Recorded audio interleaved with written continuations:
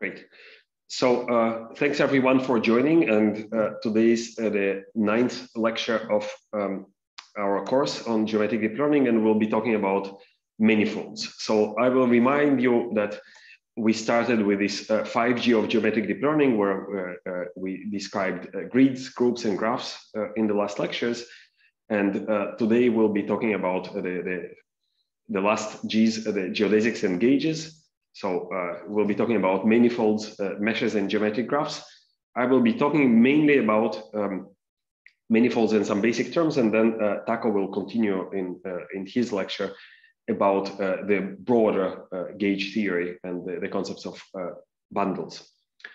So if you remember this table with different popular architectures of deep learning as instances of our geometric deep learning blueprint, so in case of uh, manifolds and the architectures we are considering are intrinsic or mesh convolutional networks, we actually have two different symmetry groups. We have the, the uh, what is called the isometry group that describes the deformations of the manifold, and the gauge symmetry that describes the local uh, transformations. The local ambiguity will uh, uh, I will show exactly what I mean by this uh, in a few minutes.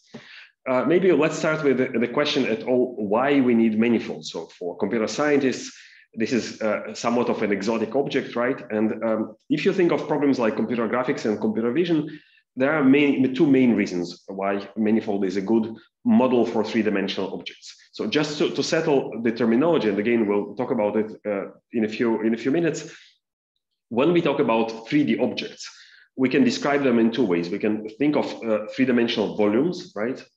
Or we can think of the boundary, uh, the boundary surface of these three-dimensional volumes, which are two-dimensional manifolds. These are surfaces, right? So if you think of, so if you look at this Stanford bunny, uh, if you represent it volumetrically and you're interested only on the outside surface, right, the, the 3D object, then you don't care of what happens inside. So in a sense, this uh, volumetric representation is very, wasteful. It, it describes a lot of information that you don't need in some applications, you do need this information, like in medical imaging, where you care actually about what's inside rather than what's outside, right? But in computer graphics, for example, if I want to render this model, I don't see anything that's inside.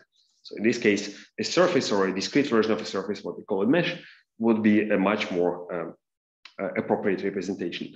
Another thing is that when you uh, describe surfaces as, um, when you describe 3D objects as surfaces, uh, it is very natural to model their deformations. And that's why when we are dealing with deformable shapes like the human body, right, different applications and virtual and augmented realities, uh, uh, 3D avatars, and so on, then uh, it lends itself very naturally to these kind of representations. Now, another maybe slightly exotic application, and we'll probably talk about it more in the, the final lecture on applications. Uh, now, uh, a, field that has exploded recently of protein modeling. So this is also a very geometric field. You can think of uh, protein molecules, right? So they are 3D objects, they are 3D structures. And uh, if, for example, you want to predict the interactions of proteins, what chemists call binding, then you don't really care about what's inside. Usually it's uh, only the outside, uh, outside surface that matters for the interaction. So this is a way of abstracting out uh, some of the internal structures that might be irrelevant for a given problem.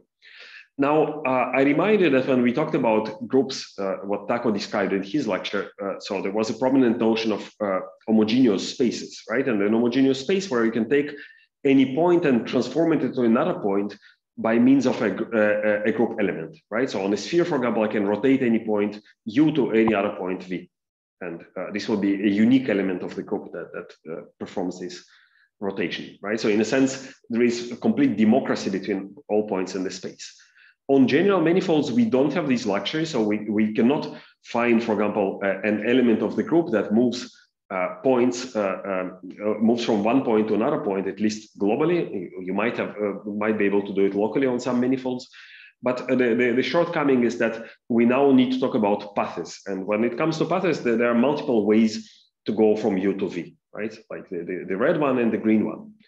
Now, what comes as a drawback with this, uh, with this view is the following, that if you think of Euclidean convolution, right, what we've seen on, on grids in, the plane, uh, I can uh, think of it roughly speaking as take a local filter, right, that is shown here, and move it around the domain, right? So here I show you uh, two ways of moving it around, uh, the, the red way and the, the, the, the green way. you see that the result will be the same. The filter uh, will arrive at the same position and the same orientation. But this is not the case on the manifold. Even on a manifold like the sphere, if I move along the red path or if I move along the green path, I will get to a different result. So the result of a transport, what we'll call a parallel transport, is path dependent. So in this case, the ambiguity is rotation. You see that when I arrive uh, at a differently rotated filter, right? I can rotate it by 90 degrees and get the same result. Uh, if we have some more exotic structures, such as non-orientable manifolds, of which uh, the, the, Möbius surface is probably the, the, classical example, you see that in this case, basically, uh, a non-orientable means that if I, I, plot the normals of this surface, it will be, be discontinuous. So if I move along the green path, or if I move along the red path, I will flip the filter, right? Because of lack of orientability. So in this case, the ambiguity is reflection transformation. So there are several recipes how we can try to do something similar to convolutions on manifolds. Uh, we can fix the path. We can say that uh, I move uh, my filters along a certain path that we'll call a geodesic. So this has been done in the literature. I will not be talking about this idea. We can uh, fix uh, this gauge, this local system of coordinates, and we'll talk about it in a second. We can do what is called uh, group pooling. So we'll apply some pooling on the, the local transformations we can do isotropic filters that are uh, unaffected by this ambiguity, or we can do uh, what is called gauge equivariant filters, and uh, this will be the topic of the next uh, uh, lecture by Taco. So I mentioned two types of symmetry. Uh, one of them was this local gauge transformation, right? The fact that on manifolds, I'm forced to work only locally, and therefore I'm dependent on an arbitrary choice of the system of coordinates, which I can transform in arbitrary way. So this is called the gauge symmetry, and I will only briefly mention it again. This will be uh, uh addressed in the uh, lecture of Taco. Another kind of uh, symmetry or uh, invariance that we are interested in is what uh, is called a global um, isometric deformations. So I want to, to be able to deform my domain, my manifold, and still guarantee that the, the filters produce the same results right? This is important, especially in graphics applications, but this is a more general principle on which we touched only briefly. So this will be also an opportunity to talk about this deformation invariance. Okay, so the outline for today, we'll start with how to define local stuff on manifolds, right? Basically, this will be uh, given in the form of Riemannian metric. And then how to move stuff around locally. Uh, we'll talk about uh, parallel transport in geodesics. Then we'll talk about uh, deformation invariance, isometries. Uh, I will not, as I said, I will not talk about local symmetries and gauges. This will be uh, in the next lecture. And then we'll talk about a particular instance of these filters. Uh, this will bring, uh, the, the, bring up the topic of spectral analysis and Fourier transforms on manifolds. We'll see that also these concepts apply uh, almost straightforwardly to graphs and uh, will somehow close the loop and talk about some uh, topics that Petar only briefly mentioned in his lecture. Okay, so what is a manifold? And probably for computer scientists, uh, this is uh, somewhat of an exotic uh, object. I should say that if I were to define everything properly, I will probably spend at least a couple of hours just uh, uh, making the definition. So let me be a little bit inexact here, right? And what I mean by manifold is the following uh, notion of a topological space, right? So topological space is roughly where we have a notion of a neighborhood, but not distance. So it's a kind of very flexible form of geometry. I only want to preserve uh, uh, to, to, preserve uh, some form of neighborhood. Okay, it has a formal definition. That's what we call topology. So this is topological space that locally resembles a Euclidean space. What do I mean by this? Is that if I take a point and a small neighborhood around it, I can uh, map it into a, a Euclidean space, right? Now, uh, we'll be usually considering smooth manifolds or differentiable manifolds. And this means the following thing, that if I have two different points and the neighborhoods around them, I will map them to the, uh, to the respective Euclidean spaces.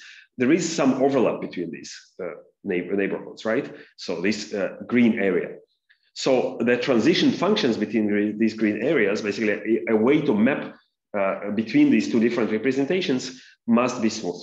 Okay, meaning that it's differentiable uh, uh, uh many times and and the derivatives are continuous.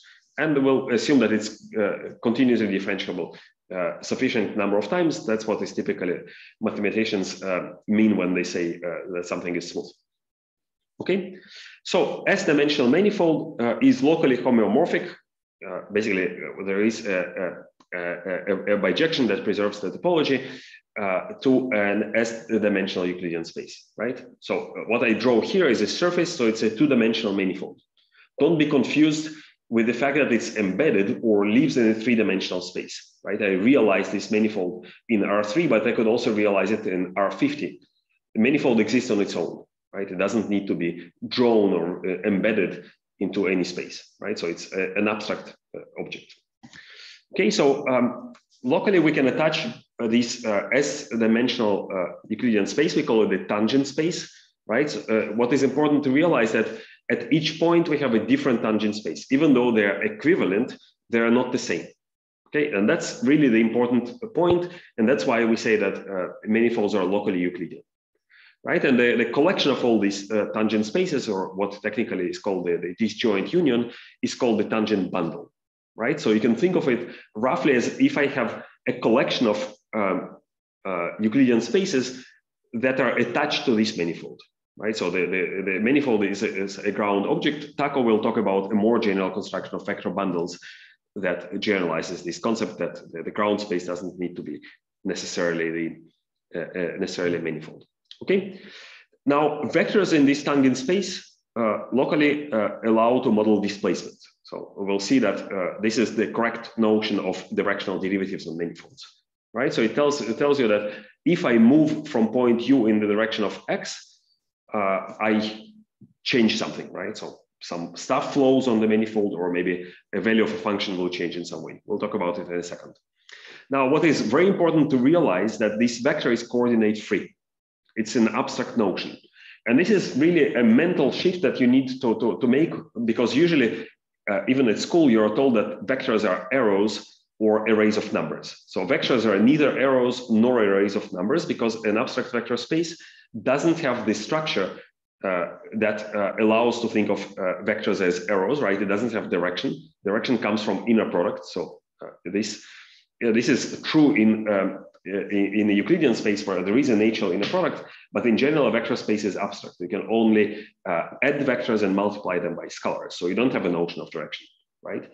And it's also not an array of coordinates. So to represent a vector as an array of coordinates, and this is really what you must do if you want to represent vectors on a computer and do something with them, you require some local basis, right? So we need some uh, uh, reference frame with respect to which we represent uh, a vector in coordinates. And uh, this is what physicists call a gauge. So you can think of a gauge as a collection of these invertible linear maps that are smooth with respect to, the, to their position on the manifold that essentially assign coordinates to the tangent vectors on the manifold. Okay, so you can represent them as uh, an array of uh, S numbers. So here the convention uh, uh varies and uh, some people uh, denote the gauge as a map from the tangent space to the to the Euclidean space, here I use the, the opposite, okay? So basically it maps uh, vectors from the Euclidean space to tangent vectors at, at a point. What is important that it's defined per point and it can be different. Okay, so this is a coordinatization of uh, tangent vectors. Now, uh, as I mentioned, uh, topology uh, uh, is a kind of uh, flexible geometry, right? Where you don't have any any any structure. You can bend your your your manifolds the way you want.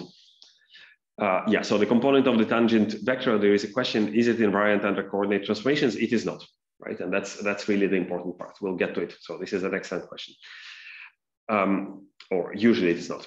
Okay, so this is uh, probably one of the classical examples, right? Or uh, topologist uh, jokes that you can take uh, basically you can have a, a, double breakfast. You can take uh, your uh, uh your coffee mug, drink your coffee, and then deform it uh, into a donut, and then eat the donut. Right. So that's that's a topologist breakfast. And uh, what it means for us that we need some extra structure. And in differential geometry, this structure typically comes in the form of what is called the Riemannian metric. So Riemannian metric, it sounds like a fancy thing, but it's just a local inner product on the tangent space. I will denote it by uh, this uh, bilinear form G with subscript U to say that it's uh, a metric at point U, or uh, just an inner product with sub subscript U to say again that this is inner product at this point. Okay, so it takes two inner uh, to two tangent vectors, it produces a number. Okay, like any inner product. Okay, so it gives us essentially a way to measure uh, locally angles, uh, length, and area. Okay, as, as shown here. Again, as we, uh, uh if we attach some uh, some local frame to, to the tangent space, we can express express the the, um, the Riemannian metric as an S by S matrix that must be positive definite, and essentially this is its expression with respect to coordinates. What and what is important that basically this is a characteristic of the structure of Riemannian, uh, Riemannian manifold. Uh, we will call properties that can be expressed entirely in terms of the Riemannian metric as intrinsic. So this will be a recurrent term that you will hear today. And we are interested in intrinsic properties because basically what we'll try to show that if we deform the manifold uh, without changing the metric, uh, we will preserve a lot of interesting properties that we can then use to do deep learning. And for example, these kind of situations will not be possible. So this will not be uh, uh, an isometry, basically a transformation that, pre that preserves the metric, right? So this is too much uh, uh a free-form transformation of our manifold. We'll want something uh, more, um, uh, more restricted. Okay, another important topic that another important notion in differential geometry is the notion of geodesics. So let's do the following thing. So let's take two points u and v, and let's connect them by a curve. Okay, so a curve is just, well, as is shown here. So it's, it's a function that maps from an interval, let's say uh, from zero to, to t capital to, to the manifold. Okay, so I can parameterize, think of uh, a car that uh, drives from, uh, from CTU to CTV. Okay, so at time zero, it starts at CTU. At time t, it arrives to CTV. And it can go in some way. Okay, so I can measure the local velocity of the car basically I do it by taking the derivative of the curve with respect to the time parameter, right? And it gives me a vector. So this is a tangent vector. At each point, it lives in the respective tangent plane, right? So at point t, it's a tangent vector at the tang tangent uh, uh, tangent plane or tangent space at the point uh, uh, gamma of t. Okay. And now I can I have a way to measure the length of the curve because if I uh, basically, if I think of the curve as a collection of these linear segments, right, the local velocity vectors, so basically I just integrate the velocity uh, we, uh, uh along the curve, right, and the length uh, is given by the Riemannian metric, right, the square root of the, the inner product of the, the velocity vector with itself. I will give the length, I will get the length of the curve, okay? And a special kind of curve that minimizes the length between two points is called the geodesic. So if you're familiar with differential geometry, you will probably know that there, are, there is a, a, more general abstract way of defining geodesic. Let me get to it uh, in a second. But for us, this will be a definition of geodesic. Okay, and geodesics are intrinsic. You can also see it from here because we expressed everything in terms of the Riemannian metric, right? So I don't have any, any other structures here. Now, this allows us to define distances. And well, technically speaking, it's called the metric because we reserve the term metric for the Riemannian metric I will try to avoid this confusion. I will call it a distance, but basically we can define, uh, we can measure distances or we can, uh, uh, we can measure distances between points on the manifold, global distances, uh, by connecting them by geodesic and uh, measuring the length of this geodesic, right? And this will be uh, the minimizer a geodesic, this, this path will be the minimizer of the length of all curves that go from U to V. Uh, this minimum actually exists, right? So this is the first question that you ask uh, if you're a mathematician, right? Whether uh, something that I, uh, a minimum like this exists. Usually it's an infimum, but if the manifold is connected, then, then uh, we can say that the minimum is actually realized. So there exists a path that realizes this, this distance, and it defines a complete metric space, right? So its metric space is a space where we, we have some notion of distance between every pair of points. Okay, uh, question, how can you measure the length of a geodesic? So this is what I defined before. So this is the length of any curve, right? I just uh, uh, integrate the, the velocity vectors along the curve, and this gives me the length of any curve. A particular uh, curve that minimizes this length functional between uh, given points uh, is called the geodesic, right? So that's how we define the geodesic.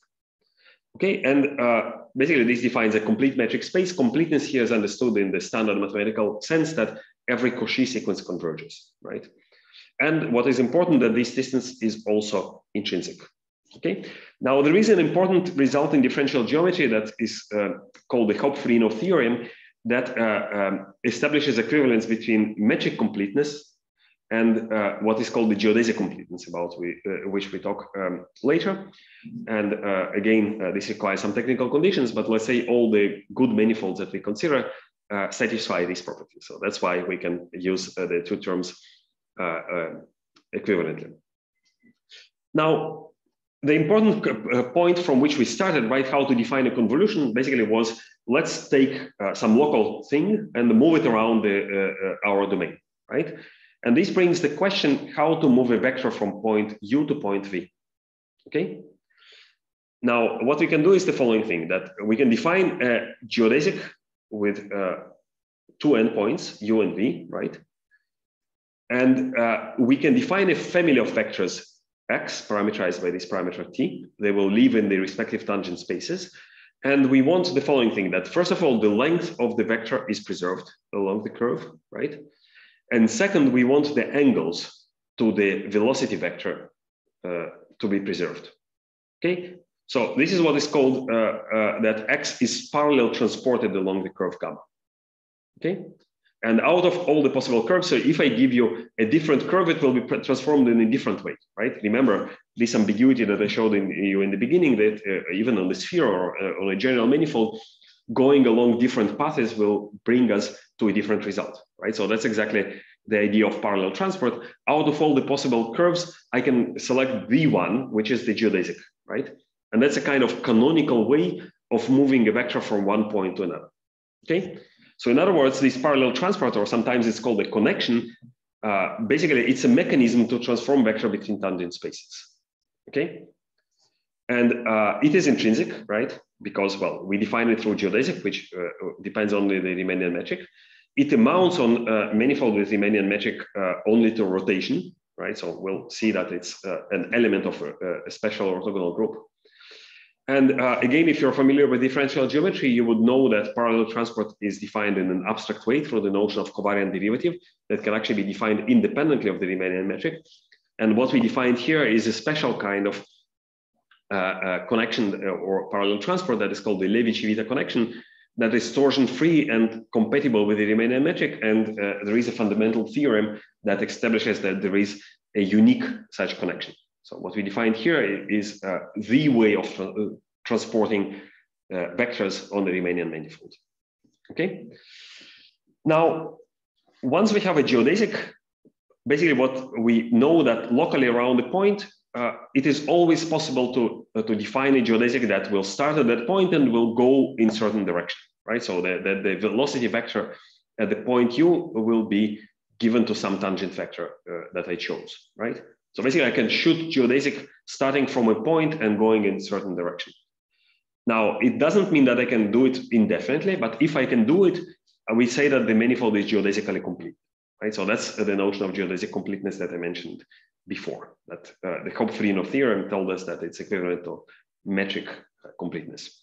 Okay, so basically I can uh, I can start with a point in the direction. I can travel on the manifold as long as I can until I get tired, infinitely long. Okay, and this allows us to create a, um, a very useful construction that is called the exponential map that is defined by basically taking a unit step along the geodesic in a certain direction and this takes us from a tangent, tangent space to a manifold. So basically I can, what I can do with exponential map, I can work in the tangent space and then go back to the manifold, right? Or I can do the other way around. I can say I have a function on the manifold, I can bring it back to the tangent space locally, right, around the point. So it's, uh, it's a natural way of mapping between these two spaces. It is intrinsic, right? We define it in, in terms of geodesic.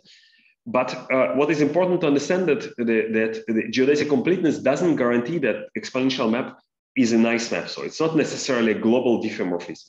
Even though I can travel uh, along geodesic as much as I can, if I apply this uh, exponential map globally to map uh, uh, a tangent vector to the manifold, it might look ugly, right? So it might be, be non-smooth.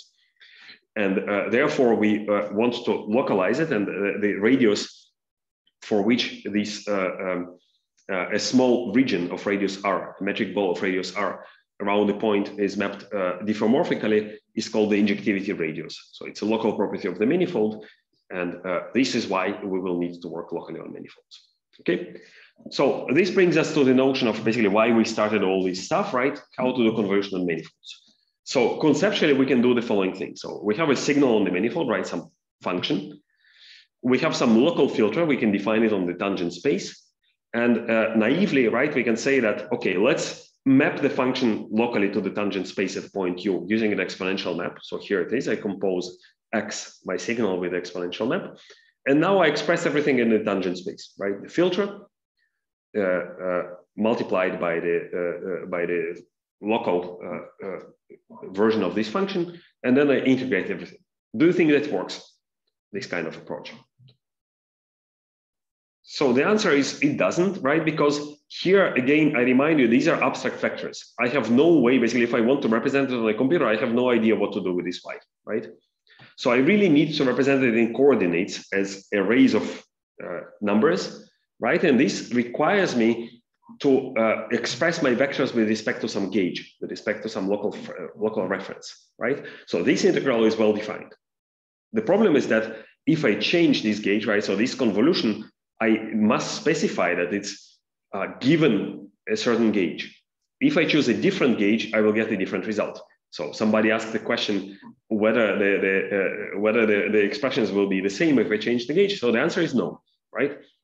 there is no reason whatsoever why the gauge uh, result will be the same if I uh, locally transform my, uh, uh, my, my system of coordinates. Okay, and this is a big problem. So maybe a more general uh, uh, comment, and I um, provided also the link to, to this nice recent paper by Maurice Weiler and others that writes on 250 pages about um, intrinsic convolutions on manifolds. So the gauge is defined up to a transformation. So this transformation, it's called the gauge transformation. Uh, we can think of it as a, a, group, right? So it's called sometimes the structure group of, of, of the manifold or the tangent bundle. And it really depends on uh, what kind of structure you assume. So if you assume a naked manifold without any uh, metric structure, right? So just topological space, then this transformation can be anything, right? So any invertible matrix, what we call the general linear group. If we have uh, oriented manifold, right? So it's manifold uh, with orientation, so it excludes these kind of path pathologies like the Möbius surface, then it's uh, what is called GL plus. So it's invertible matrices with positive determinant. So we have some fixed orientation. But again, my, uh, my system of uh, uh, coordinates can be transformed in any way, right? I can skew it, I can scale it, I can do whatever I want. I only preserve the handedness, right? So I introduce some extra thing. Now, if we also have a volume form, right, if I can measure volumes on the manifold, it can be done uh, without Riemannian uh, metric. We can define an abstract uh, volume form. Then we have the, what is called the, the SL. So it's matrices with determinant equal to one, right? But again, there is a lot of degrees of freedom within it. If we have a metric, then we can measure uh, angles. And now we can talk about uh, orthogonal transformation of our frame, right? But orthogonal matrices include uh, rotations and reflections, right? So I can change the handedness. So again, if I add uh, to metric the orientation, I have orthogonal matrices that preserve the orientation. So they have determinant one, right? And that's what we have with Riemannian metric because Riemannian metric provides us both volume and, uh, and uh, we assume that the manifold is oriented. Finally, if I have some prescribed frame field, if I can attach a gauge to the manifold in some way, then we don't have any ambiguity. In this case, the group is just the identity, right? So I have the way, the canonical frame, right? And here's an example. So on a general manifold that has orientation, uh, my ambiguity is S of two, right? I can rotate locally my local frame any way I want. If I have some non-orientable surface like the Möbius, I can also have reflections. And if I have a fixed gauge, like on the sphere, for example, I can derive a canonical parametrization with the exception of the two poles. Uh, basically I have no ambiguity at all. Okay, so as I said, uh, on Riemannian manifolds, we are not interested in the, the, the, more general cases. We are interested only in rotations or the case where we can attach the canonical frame field. So in theory, uh, we cannot really define such a field. In practice, we can, right? So that's the idea of uh, assigning a fixed gauge, and there are multiple ways of doing it. So you can actually define uh, uh, stable procedures for for uh, for determining local frames. One of them was described in in our paper in CVPR two years ago. We call it G frames, and the idea is to take an intrinsic function, such as, for example, one of the eigenfunctions of the Laplacian. We'll talk about it in in a few minutes and then take its intrinsic gradient. Again, we'll talk about what intrinsic gradient is in, in a few minutes.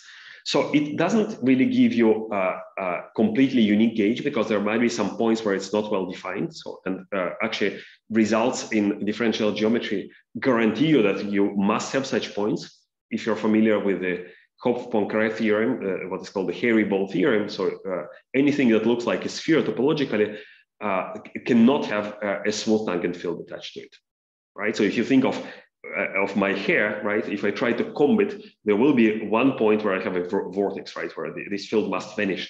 This is actually one of the reasons why when you have these confinement chambers for plasma, they must have toroidal shape. You cannot have, uh, you, uh, you can comb a torus, you cannot comb a sphere. You cannot be spherical chambers, okay?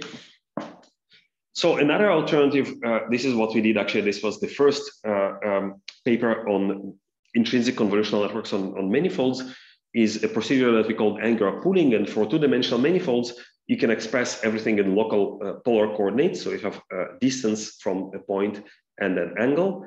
And here the filter is defined in the polar coordinates. And what you do is you uh, basically apply a rotating filter and then take the maximum over all the possible orientations, right? Uh, and the final option is to do uh, isotropic filters. So in this case, the filter depends only on the radius. So basically, it has no sense of direction. It, uh, it, it, looks like concentric circles. Um, I think there is a question if one uh, in one manifold we might then end up using many different transformations. Can we generalize that to, to one transformation for efficiency purposes? Okay, so it's not many transformations, it's the ambiguity. So it's a kind of uh, uh, built-in property in the manifold. So what you want to do is somehow to deal with this ambiguity right? So, uh, and these are the exactly the, the, the, the, different solutions. So you can either fix a gauge, right? And uh, uh, up to some ambiguities in the definition of the gauge and the entire possibility of doing it, you can say, I fixed the gauge and I, I now work with this canonical gauge, right? Another possibility, for example, to say, okay, my filter is not dependent on the orientation. So it doesn't uh, suffer from this ambiguity. And that's exactly what spectral analysis will do. So this will be isotropic filters what Taco will show in his lecture that you can actually define a filter that uh, transforms the same way as you transform your local coordinates. So if I rotate my local frame, the filter will rotate in the same way, right? Same way as we had, for example, in convolutional networks, when uh, if I shift my filter, the output will be shifted in exactly the same way, right? So the notion of, uh, of group equivariance that we had before. Okay, so the, of course, the deficiency of isotropic filters is that even though they uh, get rid of this ambiguity, they lose discriminative power because you use uh, uh, maybe more boring and less informative filters. Okay, so let's now talk about deformation invariance. So this, uh, I mentioned it as uh, the second kind of symmetry, right? Or second kind of invariance that we have in our application. And I think this video describes it nicely. Here I define an intrinsic filter on the, on the surface and I want the result of the filter to be unaffected by deformations, right? Or at least by certain class of deformations.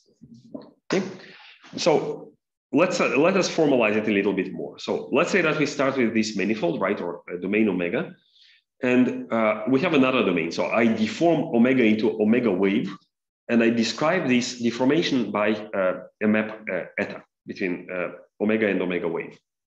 Okay, what I now I will try to do is to locally characterize what this omega does to the structures on this domain, right? To tangent, tangent vectors, the metrics, and so on, to distances.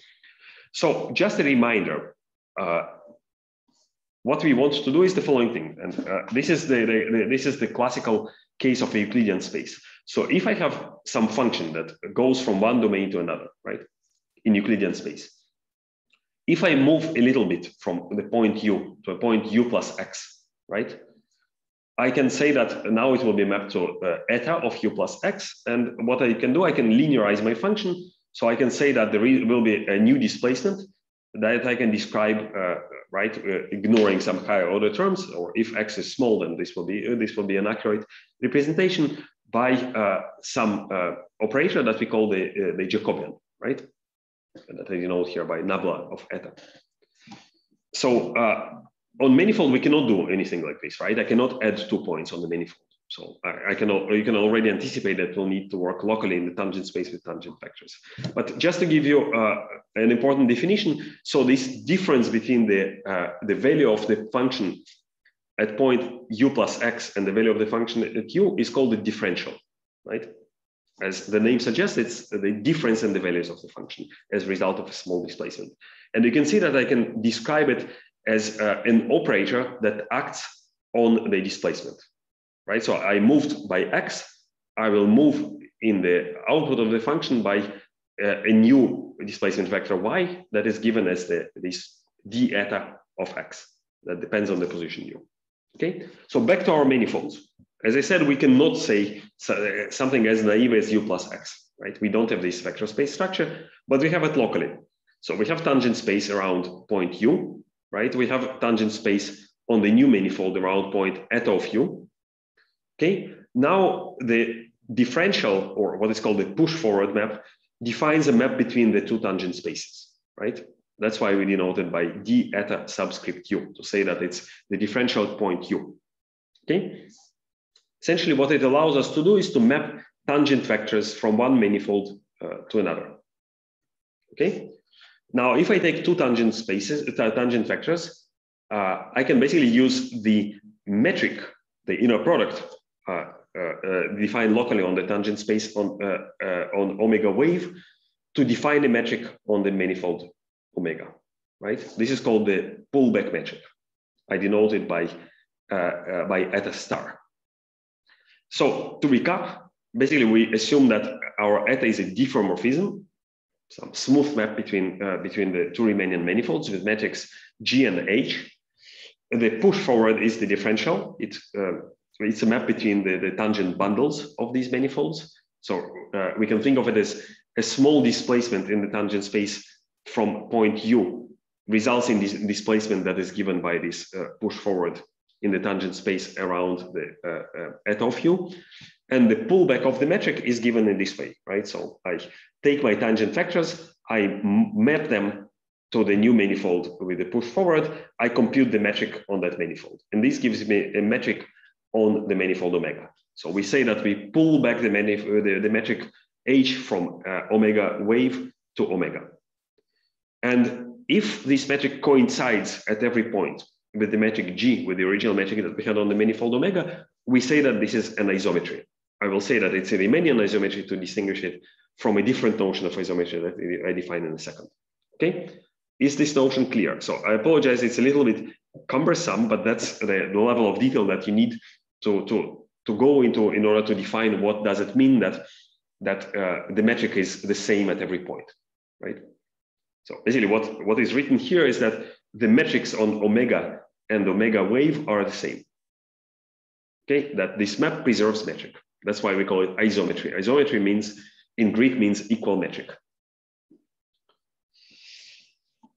Right, so again, the, uh, uh, the pullback and the push forward. So the differential of the map maps uh, tangent vectors. Is this clear, right? So it tells you that if I displace a little bit from point U, it will result in a small displacement uh, from the point at U, right? And these displacements are different creatures. They live in different spaces, right? So one lives in the tangent space uh, on the one manifold, another one lives in the tangent space on another manifold. So if I now take, take two, vector, two tangent vectors, I can map them to the new manifold, and I can uh, apply to them the Riemannian metric of that manifold. So this way we define the metric on the original manifold, and this is what we call the pullback metric. Okay, so that's the idea. And if the pullback metric coincides with the metric that we had originally on the manifold, we say that this map is an isometry. Okay. Now we also have another notion of metric, right? What we define we call the geodesic distance, and here, given two Riemannian metrics, G and H, I can define the shortest path between two points, U and V, right? And measure the length of these paths. And this is my distance, right? And now we have a map between metric spaces. And if this map preserves distances or preserves the, the metric, right? Or if I uh, compose my metric with this, uh, uh, with this map and I get the same result, I say that this is a metric isometry, right? So it's a map that preserves geodesic distances. Now, why I uh, not insist I, uh, uh, on this distinction between metric isometry and Riemannian isometry is the following result. So obviously, in one direction, a Riemannian isometry necessarily implies a metric isometry, right? Because the, the geodesic distance is intrinsic, it's defined purely in terms of a Riemannian metric. So if I have something that preserves a Riemannian metric, then the geodesic distances will be preserved and it will be automatically a metric isometry, right? So somehow Riemannian isometry seems to be a stronger condition. But there is a result that is called the Meyer-Steenrod theorem that uh, claims that on connected manifolds, uh, the opposite direction also works. So a metric isometry is also Riemannian isometry. In other words, the two notions are equivalent, right? So that's why you can talk about an isometry in general. Now, I should say that isometries, we can also define them from the manifold to itself. And this is what is called intrinsic symmetries. So these are some kind of structure preserving automorphisms, right? And in this case, the structure is either the, the Riemannian metric or the geodesic distance, which are equivalent. And uh, we can, on manifold, we can define um, uh, continuous symmetries that are generated by uh, special uh, fields that are called Killing fields. So these are the local uh, generators of the isometry group on the manifold, right? So there is an entire theory, basically group theoretic perspective on uh, on what are isometries on manifolds. Allow me not to go into this um, uh, in, uh, into this topic because we have uh, many other things to cover. Now, why this is important? So I remind you uh, before when we talked about um, invariance and equivariance, we had the following idea, right? So we had a signal that is defined on some domain and uh, we applied to it some group, uh, uh, we applied some group operation on the domain, right? That in the space of signals was uh, manifested through the group representation. So some linear operator that we applied to the signal, like the shift. And we said that we want a function that is, for example, invariant to these to these to these operations, right? Group equivariant function. Okay. Now here we have a different situation. So here we have instead of a signal deformation, we have a domain deformation. So here we have uh, now a different domain, uh, omega wave.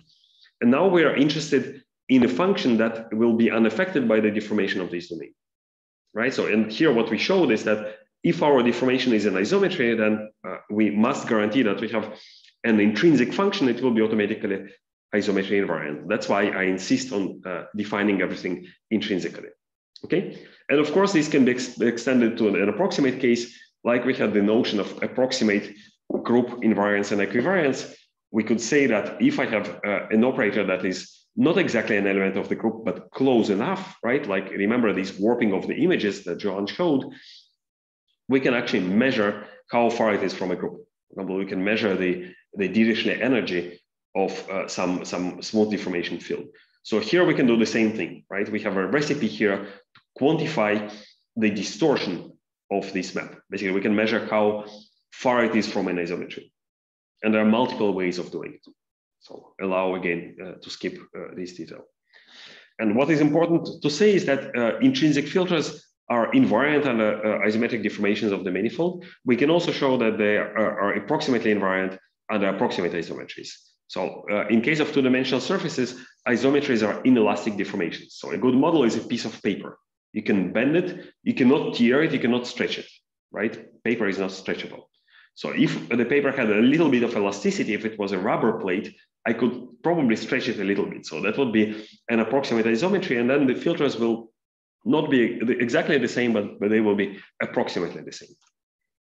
Okay, and this is important in applications such as computer vision and graphics, where, for example, we want to find correspondence between deformable shapes. When we want to do, for example, uh, different avatars of, of three-dimensional humans, right? What you can see here the two poses on the left are approximate isometries, and uh, a different person, for example, you see that the person has slightly a fatter body, so this is not an isometry, so there is some distortion here. Okay, now let's talk about the manifold Fourier transform, and we talked a little bit about isotropic filters, so that will be uh, the idea behind this uh, spectral uh, construction of filters. So to remind you, in the Euclidean case, we had um, uh, a proof that convolutions uh, commute, right? We could represent them as circulant matrices. And uh, we knew also that commuting matrices are jointly diagonalizable. So in this case, roughly speaking, they have same eigenvectors. And we could pick one of these matrices, the shift operator, for which we could actually show by hand derive the eigenvectors and show that they are equal to the discrete Fourier transform. And therefore, the conclusion was that convolutions are diagonalized by the Fourier transform. Okay. Now, instead of the shift operator, operator we could pick up any uh, circulant matrix, any convolution. For example, we could pick up the Laplacian. The Laplacian operator, its eigenvectors are also DFT, so we can say that every convolution is diagonalized by the eigenvectors of the Laplacian operator. So we can use the Laplacian eigenvectors as the Fourier transform. Now, in the Euclidean case, it doesn't matter which matrix we choose. In the non-Euclidean case, it does. So here's a few facts about the Laplacian. So we can again think of Fourier basis functions that Laplacian eigenfunctions. Let me write it in the continuous case, right? What is Laplacian in 1D? It's just second order derivative. So if I apply it to the complex exponential, right, to the to the basis vectors of the Fourier transform, I will get back the same eigenvector scaled by some some scalar, right? Uh, here it appears with minus sign, so that's why uh, in some references it's convenient to define the Laplacian as the negative derivative so it is a positive semi-definite operator. Now we can also interpret the Fourier basis as an orthogonal basis that minimizes the Dirichlet energy. So we can say that uh, basically when we build it progressively, the first eigenvector, it has unit length, right? It's orthonormal basis, and it's the smoothest. So what is the smallest Dirichlet energy? It's zero, right? When the vector is constant. The next one must be orthogonal to this previous to the first vector, and uh, uh, the the next uh, smallest Dirichlet energy. So orthogonality means that it must be uh, uh, orthogonality to the, the constant vector means that the integral over a full period must be equal to zero. It means uh, that it must be a periodic function like sine, right? And that's how we get the different frequencies of in the Fourier transform. So uh, we can think of it as the smoothest, uh, smoothest orthogonal basis. And finally, we can interpret it as a kind of local difference from neighbors. So if I uh, look at the discrete Laplacian, you can see that, uh, well, up to normalization, what I do is essentially I take the average of my neighbors to the left and to the right and subtract for it the value at the point itself, at the point i, right? So bear in mind this uh, kind of definition or kind of intuition. We'll get back to it in a second. This is actually important. Okay. So we need to define a few more things before we, uh, we uh, can define the analogy of Laplacian manifolds. And the first is the notion of fields. So the scalar field is just a real function on the manifold, right? So think of a temperature. So I have a surface and I can measure temperature at different points. So it's a scalar value, right? It's a, a number, a real number. Now, we can also have vector fields. So it's a function that uh, takes uh, every point and assigns this point to a vector in the respective tangent, uh, tangent space, right? So you can roughly visualize it as a kind of a uh, lot of arrows locally that indicate local directions. Okay, that's exactly the kind of intuition of what vector field is. You can describe the flow of stuff on the manifold. Now, the fields can be anything. So we can talk about tensor fields. So metric, uh, the Riemannian metric that we defined before is a tensor field, and so on and so forth. Okay. So we can also equip these spaces with inner products. So technically speaking, this makes them into Hilbert spaces, right? And that's the, the, the way to define uh, an inner product. Between scalar fields, I just multiply the pointwise values of the scalar fields and integrate over the manifold. Okay. Uh, with vector fields, these are directions, so I need to uh, to compute inner product within the, these directions, right, to make them into a scalar. I will use the Riemannian metric. So that's exactly what's written here. The Riemannian metric between x at point u and y at point u. And here I use the convention to denote scalar fields by lowercase letters and vector fields by uh, uppercase letters. Okay. So now let's ask the question how do we measure the direction of the steepest increase of uh, a function or a field at point u, right? So we know that uh, in classical calculus, uh, you probably know it better than me, that uh, this is exactly the notion of a gradient. And you probably also remember that the gradient is a vector of uh, array of uh, partial derivatives of function, right? So how to do something similar on the manifold? So first of all, we already know how to do a directional derivative, right? So remember the notion of differential. So in this case, we have a function not between two manifolds, we have a function from a manifold to a Euclidean space, right? So this is our scalar field. So essentially the differential here can be interpreted as a directional derivative, how much my temperature changes if I make a displacement uh, along the tangent vector y at point u, right? So I apply this differential on, uh, uh, on this vector. So the differential is a linear functional that acts on tangent vectors. So this is what is called a dual vector. So it's a linear functional that takes a vector and spits out a scalar.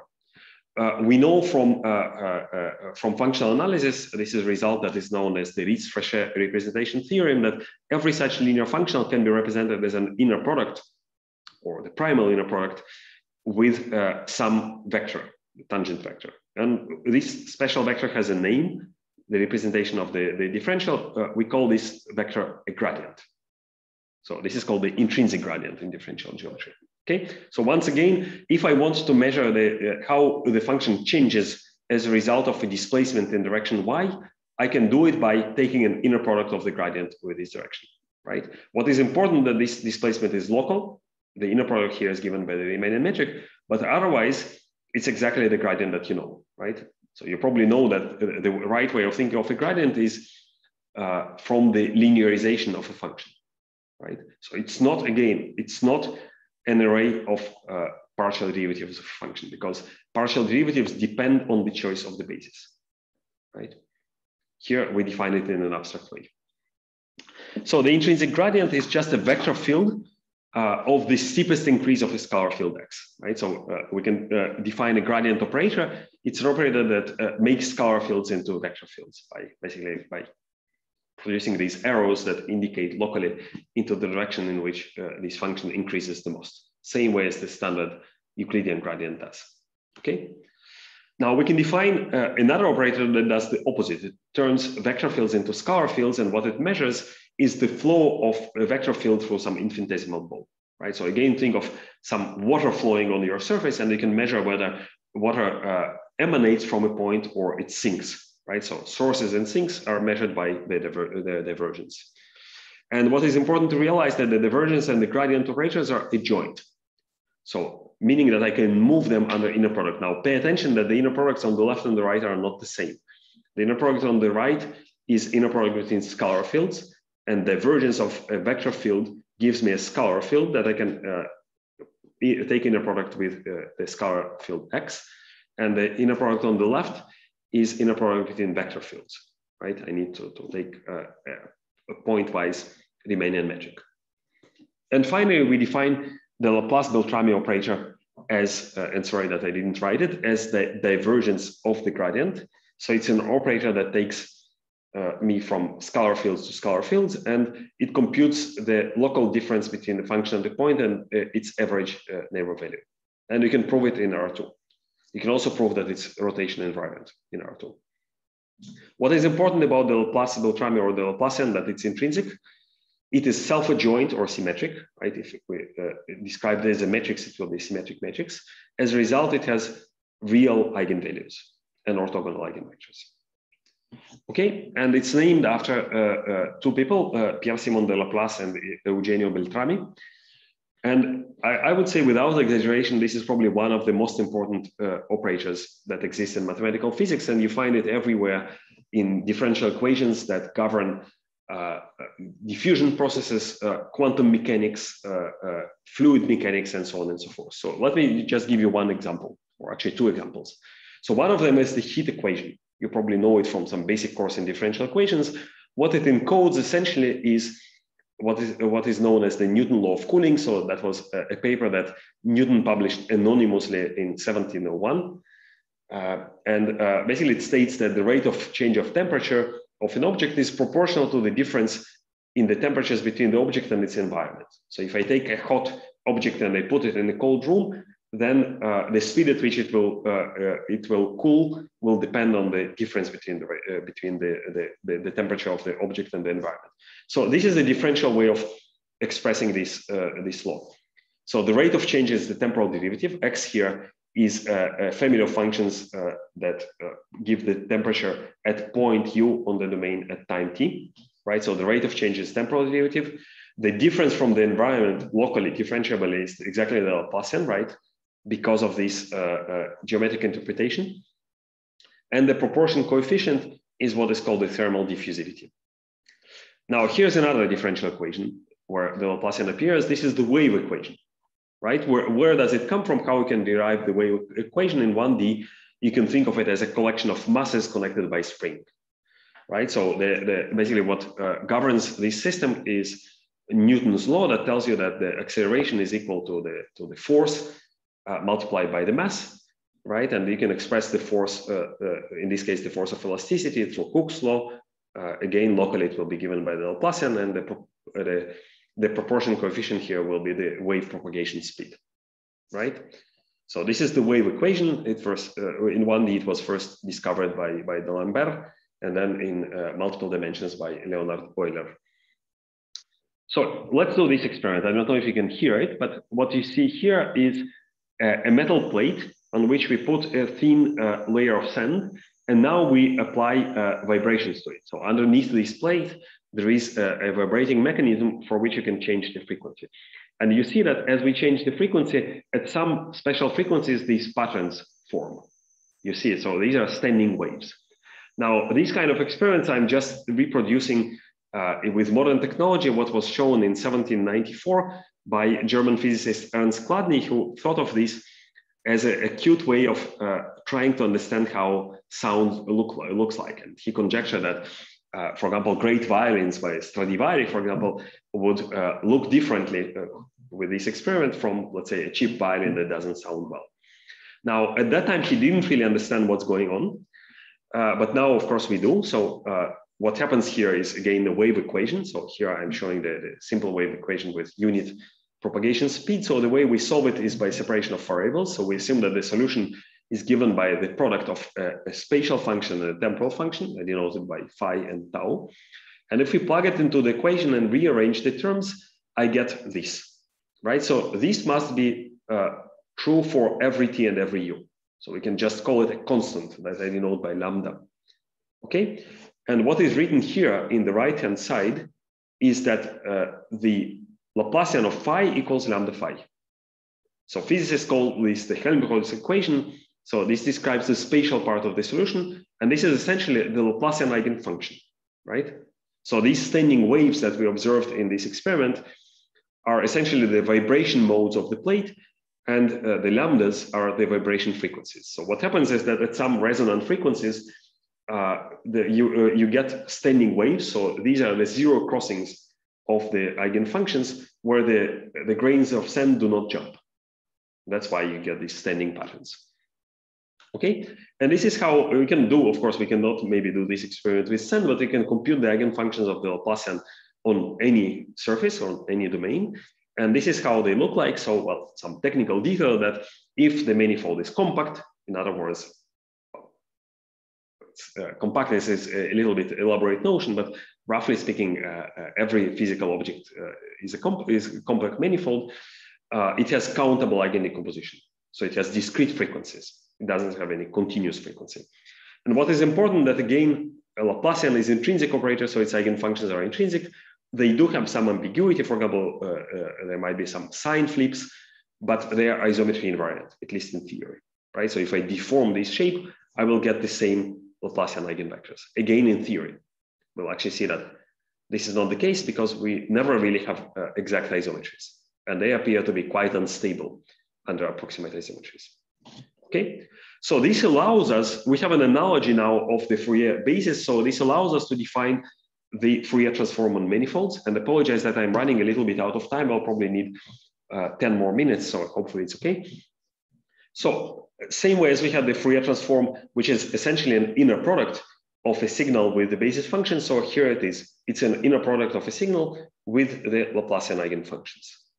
The inverse Fourier transform will be uh, just the uh, summation of these uh, uh, Fourier coefficients multiplied by the, by the basis functions, right? Same way as we had before.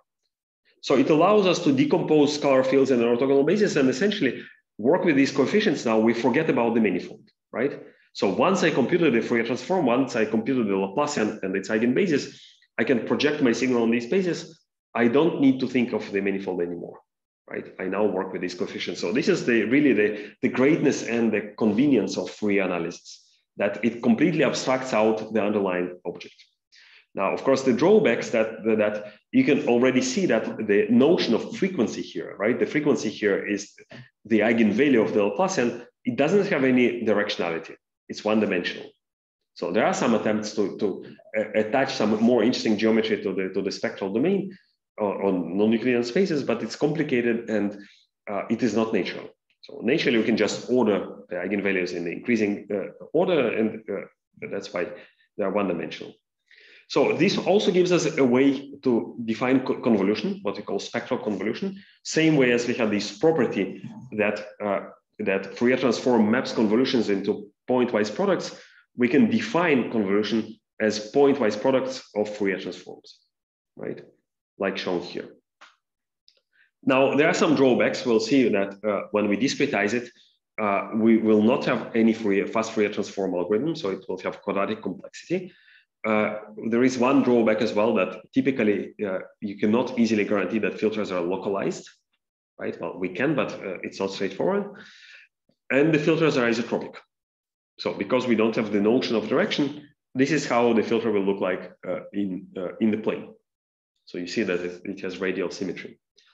And of course, we said that it is isometry invariance, but in practice, we don't really have true isometries. So it is unstable under deformations. And let me show you what I mean by this. So let's say that this is our manifold, the horse. Here we have a signal. So we have some spots on the, on the horse, right? Now let's do some filtering. So we do spectral filter as I described before. So this will do some form of edge detection, right? So I, de I define the coefficients of this filter that I denote by alpha, that they will take this signal into this signal, okay? Now, what, in your opinion, will happen if I start deforming this domain, even approximately isometric, isometrically? So I will allow the course to, to run.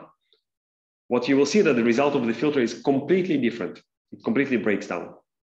So again, I have a different domain, as a result, different Laplacian, different eigenvectors, but I apply the same spectral coefficients, alpha. So you see that the result is dramatically different. And this is exactly manifestation of this instability. Now, that's why uh, Fourier transforms are rarely used in this way, or at least you cannot transfer coefficients from one domain to another. There are better ways. So one of the ways is to think of a, a spectral transfer function. So I define a, a, function p hat that I apply to my Laplacian operator. And when I say that I apply a function to the operator, I don't mean that I apply to element element y is applied to its eigenvalues. So it's a kind of filter or a transfer function, same way as you have on your, uh, uh, I don't know, uh, equalizer in the audio system, right? So you have, for example, uh, in an equalizer, you can, uh, uh, you can reduce or enhance certain frequencies, right? So if I want to enhance the basses of my music, this is the kind of filter I will apply, right? So I have enhancement of the basses. Here I have some drop in the mid frequency and I have enhancement of the high frequency, right? So this is a kind of filter. So we can interpret this p hat in this way as a transfer function. Now, uh, I can also interpret it as basically this is a way of prescribing my coefficients. So this is exactly the same spectral convolution I had before. And we see that it's uh, deformation invariant, right? So this way, if I define this filter and it has some nice properties, it's, it, for example, it is, it is smooth. In this case, I define it as a low pass filter that decays with frequency, I will get something that is stable. Now, another way uh, to interpret it is the following. So if I write the inner product explicitly and exchange some with the integral, what I get here is this kind of kernel, psi of uv, which you can think of it as a kind of convolution kernel that is position dependent, right? So I don't have a, a true convolution because convolution is same shared filter. Here it is different, it depends on u, but uh, I can localize it at every point. And just as a sanity check, when I have the Euclidean case, my Laplacian eigenfunctions will become the complex exponentials. And because of their, associ uh, uh, their associativity, I can bring them together. Now the, the, the kernel psi will depend on the difference between u and v rather than on u and v together. yeah, so uh, the, there is a question about the direction. Should it be the same? So you don't have any direction. You see that basically it spreads uniformly in every direction. So I should say that we can define uh, anisotropic filters on, on manifolds, but it requires some notion of local direction or a gauge. So we are back to the to the previous to the previous problem. So the moment you want to, to, to have any directionality, you need some form of uh, uh, local reference frame. Okay, so let me move on. Uh, let's say a few words about the discretization. So in practice, of course, you don't have manifolds, so you need to discretize them. A standard way to do it is using meshes, and in particular, triangular meshes. So triangular mesh is a graph with some extra structure. So in addition to nodes and edges, we also have faces. So remember, nodes are points, edges are pairs of points, in this case, undirected. Faces are triplets of points, such that every uh, element in this, uh, in this triangle is uh, a node and every uh, side of the triangle is an edge. Okay, and we also need, in order to, to uh, differential geometry to be discretized correctly, we also need to guarantee uh, manifoldness property, which means that each edge must be shared by exactly two faces, and the boundaries of all triangles that are incident on a node must form a single loop. So just to give you an example, what I show here on the left are manifold meshes, what I show on the right are non-manifold meshes. They have these degeneracies, okay?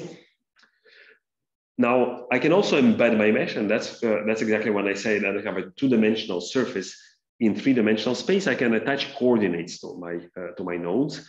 And by virtue of these coordinates, I can also measure the length of the edges, simply using the Euclidean metric, right?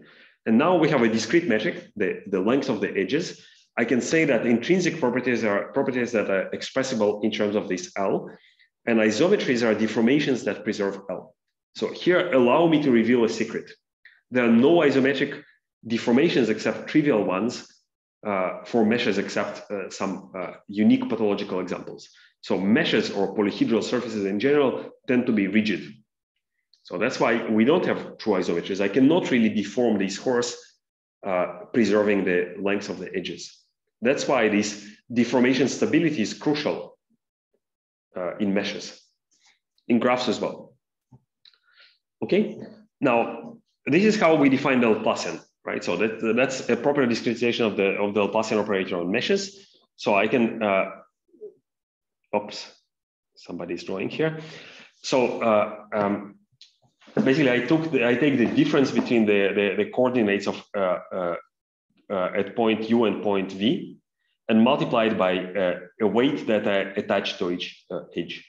Now, the way that I define this edge determines the kind of Laplacian I, I define, right? And there, that's why there is no I, I, don't say the Laplacian, I say a Laplacian. There are many Laplacians that, that you can define, and actually, none of them, you can prove that none of them uh, can satisfy all the properties of the continuous one. So there is uh, this result from 2007 uh, proven by Max Wardetzky. Uh, they call it the no free lunch theorem. Now, if you look at this sum, if I write it slightly differently, you see that I can take the x uh, u out, and uh, this is called the degree, the sum of the, the, the, weights of the edges that emanate from node u. And you can see that this is the value up to some normalization, the value of the function at point u minus the average, again, weighted average of the neighbors right? So that's exactly the geometric interpretation of the Laplacian as the difference of the function uh, from its uh, local average. Yeah, okay, so thank you for uh, allowing uh, me to take, take some more time. I, I don't need more than five minutes. Okay, and that's why we can express the Laplacian as an n by n matrix. In this case, it's just the degree matrix, right? The diagonal matrix, uh, which uh, collects the degrees of each node minus the matrix of the weights okay? And it is typically sparse, at least for meshes. Meshes are sparse, so it has uh, order of the number of uh, edges, uh, uh, non-zero elements, right? So it, it will contain mostly zeros.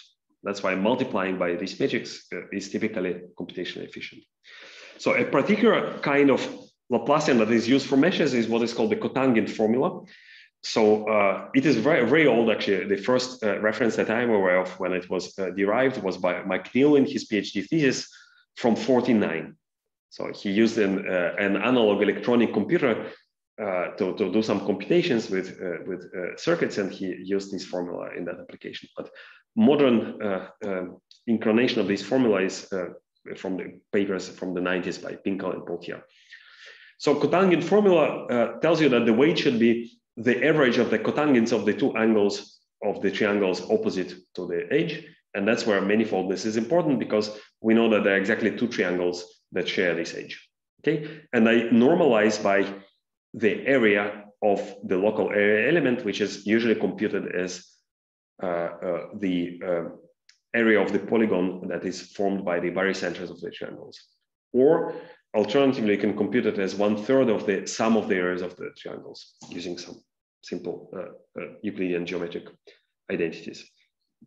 Now, at the first glance, this formula uh, contains some information that is not intrinsic, right? What is a cotangent of an angle? I have no idea what it is, but uh, you can show that you can express this formula entirely in terms of the uh, of the discrete metric of the length of the edges. So it's completely intrinsic, as well as the um, as the um, the the, uh, the area element. Uh, there is an ancient formula from uh, from ancient Greeks, current semi-perimeter formula, where you can express the area of a triangle using the semi-perimeter of this triangle, the expression that I give here. So bottom line, it's intrinsic. Therefore, if I were able to deform the mesh without affecting, affecting the discrete metric L, I would get exactly the same Laplacian as a result, the same eigenvectors. Uh, the problem that in practice, of course, it's never a true isometry. That's why we have these disasters that we've seen. Okay, now there is nothing really specific to a mesh here, and I can compute Laplacian on a graph, and typically it's computed using the adjacency weights. So if I have a graph with adjacency, let's say ones, if I have an edge and uh, zero if I don't have an edge, it's defined in exactly the same way, right?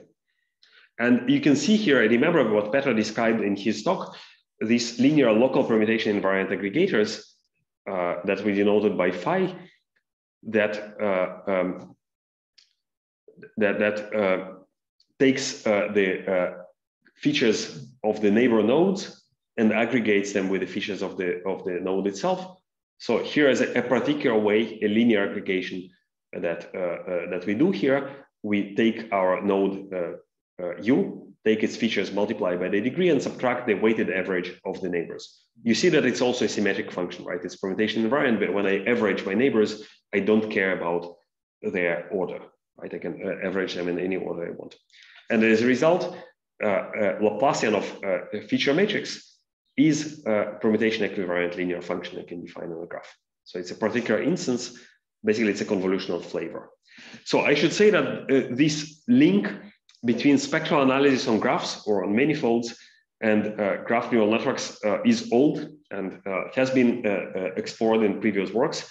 So some of the early papers I'm aware about spectral filter filtering on meshes in computer graphics, probably the works of Gabriel Taubin from the 90s and Zachi Karni and Craig Gotsman from 2000.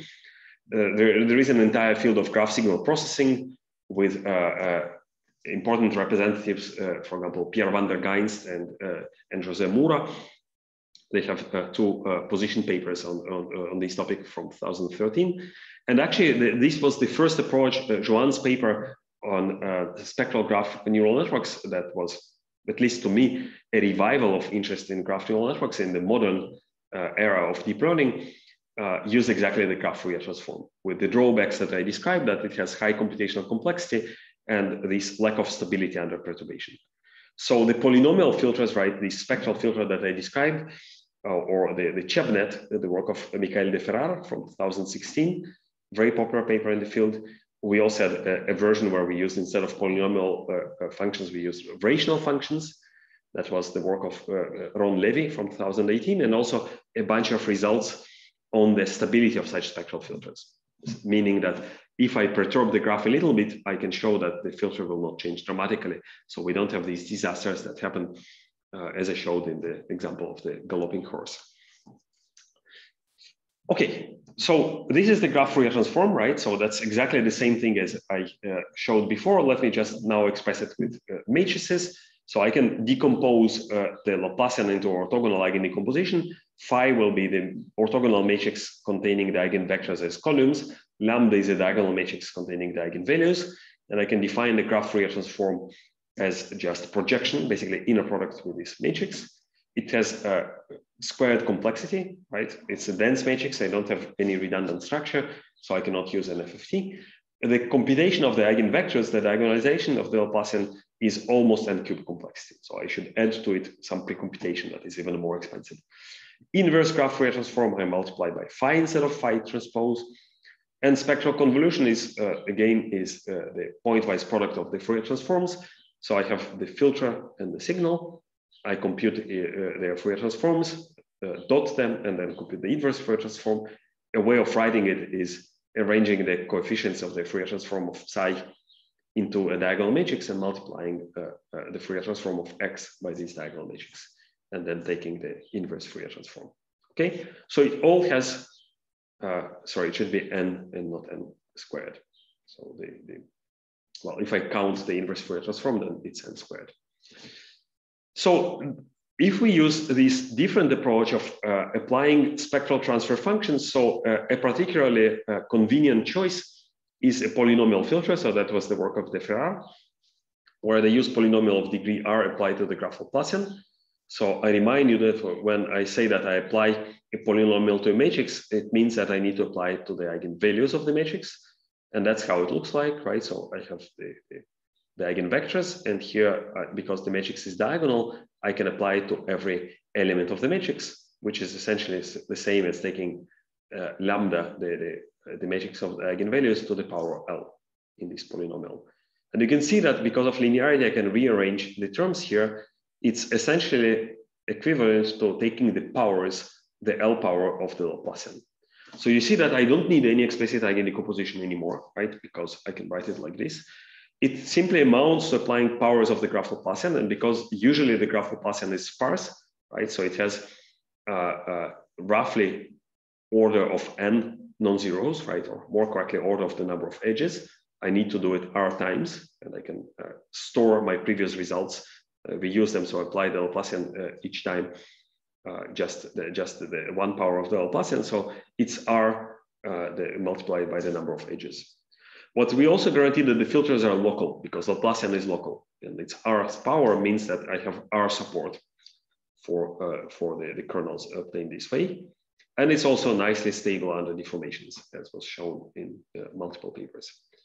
And you can also see that these spectral filters essentially boil down to simple local averaging. So it's the convolutional flavor of graph neural networks. So some, some references make this distinction between spectral uh, graph neural networks and spatial graph neural networks. You see that there is no difference. So it's exactly the same thing.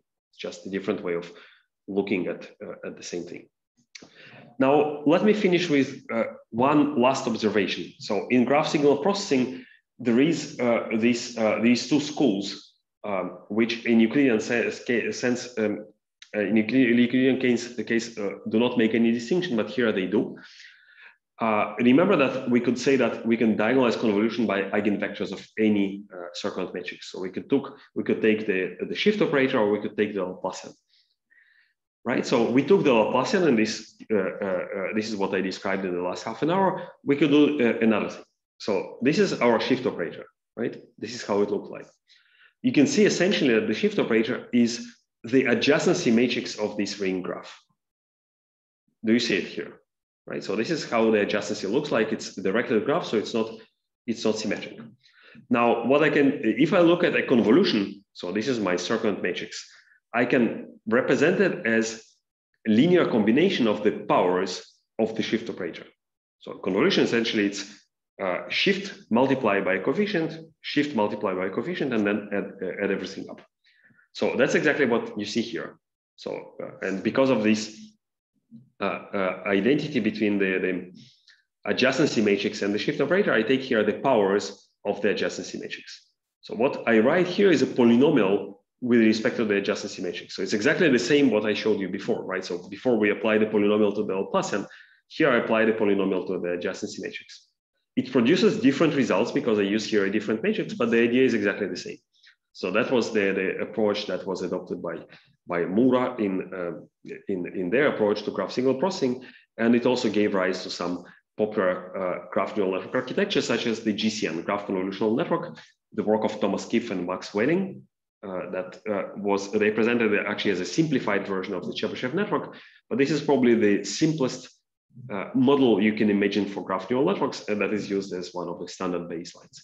And the idea here is the following: that if you arrange the uh, node-wise features into a matrix X, right, which I remind you requires some ordering of the nodes, you can do two things. You can uh, transform each node feature vector uh, by a shared uh, uh, matrix of weights in a linear way, right? So it's node-wise transform denoted by W. This amounts to right-wise multiplication of the matrix X. And then you can diffuse these features on the graph by left-wise multiplication by the graph Laplacian or the adjacency matrix, right? So this is how the simplest convolutional layer of a graph neural network might look like.